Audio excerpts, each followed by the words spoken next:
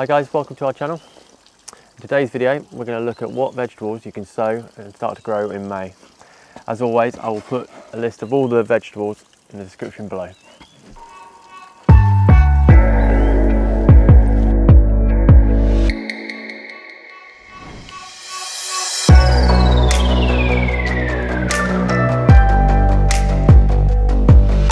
Peas. If you haven't done so already, May is a great time to start growing your peas.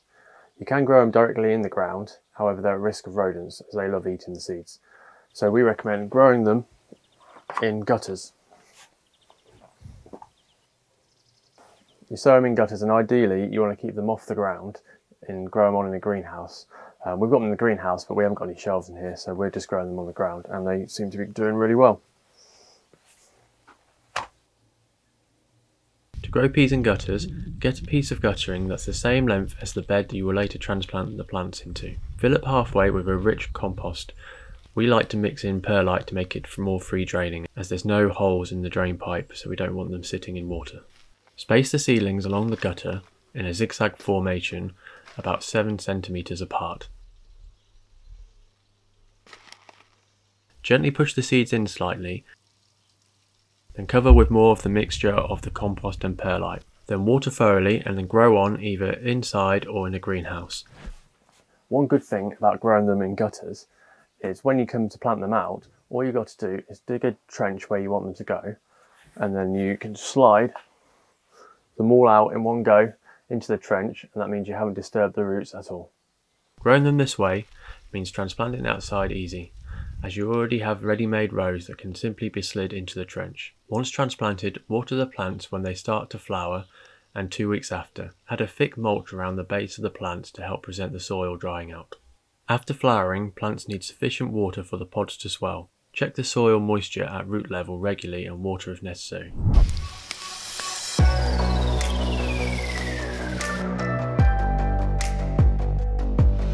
Beetroot.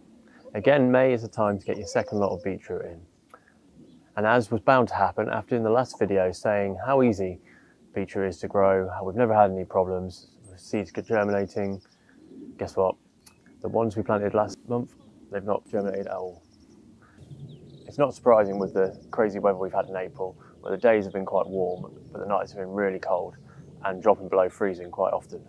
So I'm going to cover them with a fleece and hopefully they're just in hibernation and will still germinate over the next couple of weeks. It's thought one way to help prevent pests is not to grow too much of the same veg next to each other. So we're trying it out in this bed. Uh, we've already got the carrots in and the garlic, so we're going to put our second lot of beetroot in between them. To help with the germination of the beetroot seeds, I soaked them in warm water for two hours before sowing. Beetroot are super easy to sow, very similar to carrots.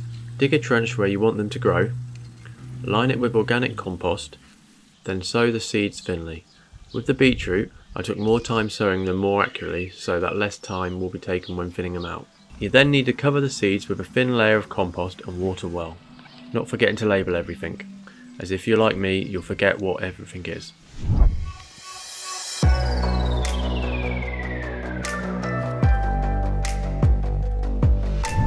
Carrots. May is the time to get your second lot of carrots in the ground. We see in our last video in April that we sowed our early carrots in this bed here. They have germinated, however they're a little bit behind because of all the cold weather we've had in April. Um, we're now going to sow our second lot of carrots. This year we are growing three types of carrots. We've already sowed an early variety of carrot and now in May we will sow a variety called Chantenay Royal which is a shorter type of carrot. Carrots are really simple to sow. Dig a trench where you want them to grow we line the bottom of the trench with some organic compost, then sprinkle the seeds across thinly. And cover them over with some more compost. This is to make sure all the seeds have good contact with the compost, which will help with germination. We spread them thinly so there are less seedlings to thin out, as that is what can attract the carrot flies. Once the seeds germinate and start to grow, and when they are big enough to handle, you will need to thin them out to around 10 centimeters per plant. Carrots are drought resistant, so they don't need much watering, but in long dry spells, they benefit from a good soaking. Fast growing weeds can drown out carrots, so weed regularly between rows. If you've grown carrots before, you'll know the excitement of the harvest. pulling them out of the ground, not knowing if they're going to be big, small, wonky. It's one of my favourite vegetables to grow. And in May, you can sow directly into the ground.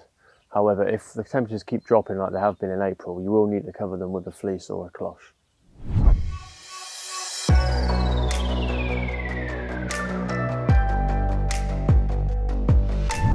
Squashes. If you haven't already, May is the time to start sowing your squashes.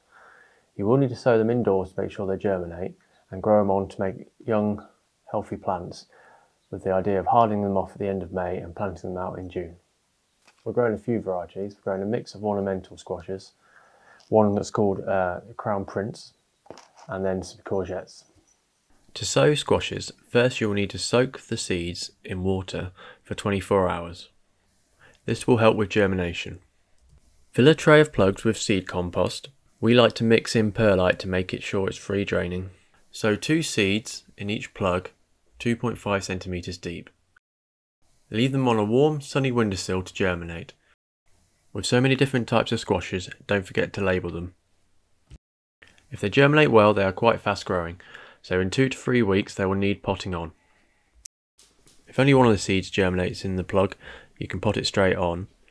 Otherwise, you will need to split the two seedlings and pot them on individually. We've tried growing them before just on the ground, but they've been attacked a lot by slugs. So this year we have built a traditional A-frame support system to grow our squashes vertically.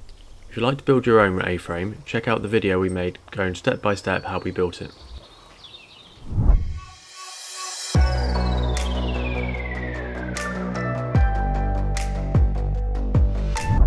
Beans. May should be the time to sow beans directly in the ground. However, the weather's still a bit cold and we are getting the odd frost in the evening. So wait until the last frost has been before you sow them directly in the ground. You can get ahead and sow them indoors like we have. You sow them in the same way as the squashes, two beans per plug, germinate them on a sunny windowsill, and then pot them on into bigger pots like these and grow them on in the greenhouse. This year we're growing three types of beans. We're growing a dwarf runner bean and two French beans, one green and one yellow. We grew green and yellow French beans last year in our raised beds and they did really well. We got a real good harvest, so we're hoping to get the same again this year. French beans like the sun and warmth.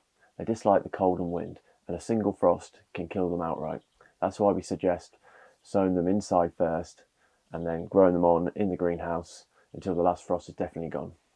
When planting them out, dwarf beans can be planted out at 10 centimetres apart in single rows.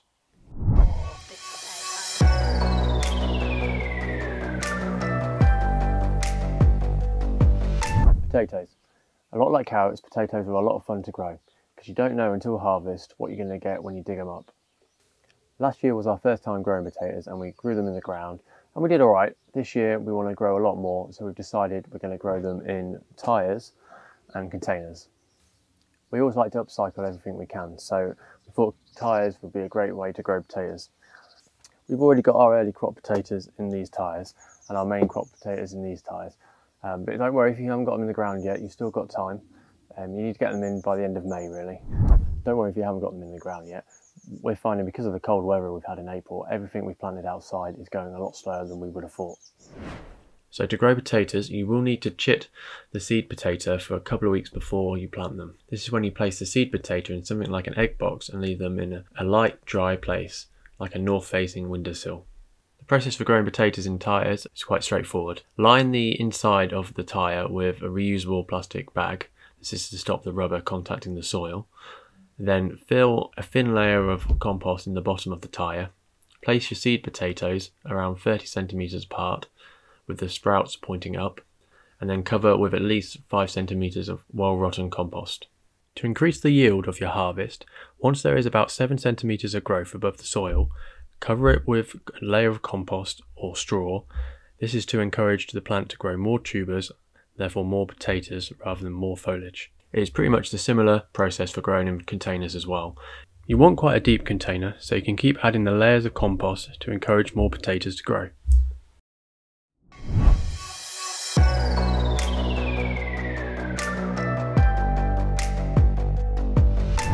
Strawberries. Everybody loves strawberries. Along with tomatoes, strawberries are usually one of the first plants someone grows. If you haven't planted your strawberry plants yet, then May is a good time to do it. You can buy young strawberry plants from garden centres and they will last for about 3 to 4 years.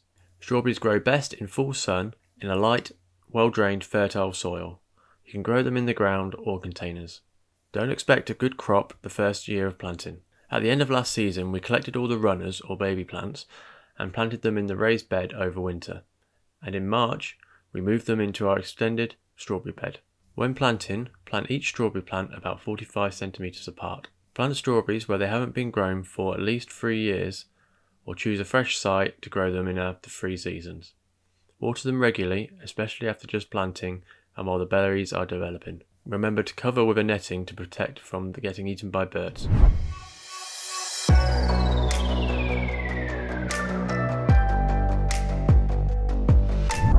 We've become a little bit obsessed with pak choy recently. We love to eat it, so we're planning on growing a lot of it this year. Last year we grew some in our raised bed. Um, last month we sown some in the bed on the ground here, and then we're going to sow some more in the raised bed in May. To sow pak choy, sow in a sunny position in rich compost. Sow seeds thinly, 2 cm deep, in rows 30 cm apart. Cover with a thin layer of rich compost and water thoroughly. Gradually thin seedlings to 10 cm for baby leaf or 30 centimetres for mature plants. The thinnings can be eaten. Keep plants well watered throughout the growing period to avoid bolting, which is running to seed, and lack of flavour. Hopefully May is going to be a lot warmer than April was, and the seeds will germinate quicker, and they could be picking off leaves to eating within a month.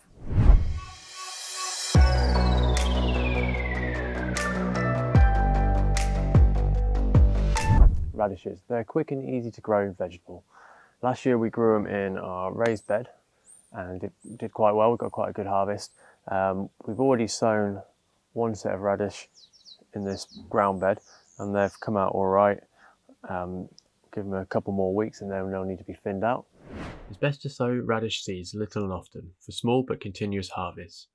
Aim to provide consistent conditions to ensure they grow well without any checks to their growth. Sow in the spot where they're to grow. This can be in the ground, in a container, or even in a growing bag. Sow seeds about 1 cm deep and 2.5 cm apart. Summer radishes need to be grown steadily and harvested young to ensure they remain succulent. If left too long, they become woody and inedible. Pullers required, but before they get too large. Major time to get your next lot of radish sowed, and then we're going to do another one in June, which will mean we'll have a constant supply of radish throughout the summer. Thanks for watching today's video. That was a look at some of the vegetables that you can start to sow and grow in May. Let us know in the comments below what you're growing and how you're getting on.